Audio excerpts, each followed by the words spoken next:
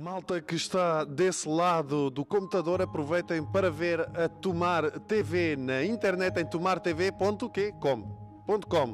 Aproveitem que eles dão a toda a gente fatias de tomar, com fartura. Pelo menos a mim vão dar.